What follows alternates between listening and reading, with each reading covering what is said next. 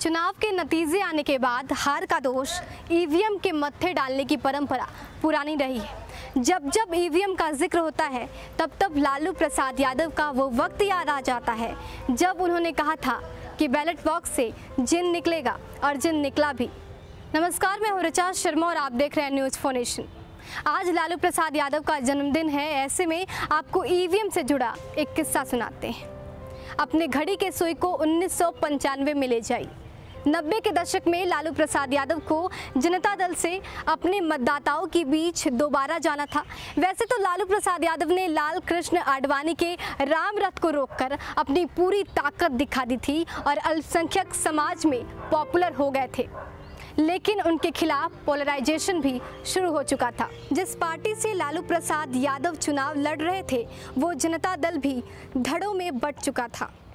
जनता दल की धुरी के तौर पर रहे विश्वनाथ प्रताप सिंह मेंटर की स्थिति में तो थे, लेकिन बहुत सक्रिय नहीं थे। लालू प्रसाद यादव राजा साहेब के नाम से मशहूर विश्वनाथ प्रताप सिंह को पटना ले गए। वहाँ उन्होंने राजा साहेब को एक होटल में ठहराया। सुबह शाम दोनों वक्त उनसे मिलने जाते और सलाह भी लेते थे। दरअसल जनता दल में एक के बाद एक विभाजन होने से लालू प्रसाद यादव काफ़ी चिंतित थे, लेकिन उनकी चिंता और भी बढ़ा दी थी। उस वक्त के चुनाव आयुक्त टी एन शेषन ने। दरअसल टी एन शेषन को ऐसा लगता था कि बिहार में होने वाले चुनाव में काफ़ी गड़बड़ियाँ होती है। ऐसे में उन्होंने पूरी तरीके से शिकंजा कस रखा था। फिर भी लालू प्रसाद यादव अपनी सभाओं में कहने से बाज नहीं आते थे। देखिएगा, बक्सा से जीन निकलेगा।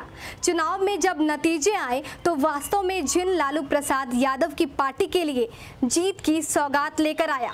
उनकी पार्टी को एक सौ सड़सठ सीटें मिली, जबकि बीजेपी को 41 और जनता दल से अलग होकर लड़ रही समता पार्टी को सात सीटों पर ही संतोष करना पड़ा। समता पार्टी कभी लालू के ही सहयोगी रहे, नीतीश कुमार ने जनता दल से अलग होकर बनाई थी। उनके साथ जॉर्ज फर्नांडिस थे।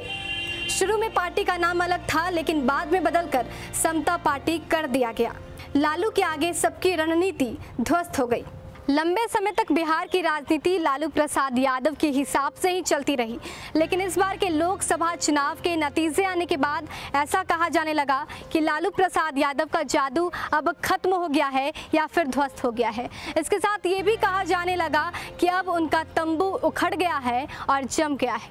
लेकिन एक बात तो स्पष्ट है कि कई बार कहने के बाद आखिरकार लालू प्रसाद यादव ने बैलेट बॉक्स से जिन निकाल ही दिया था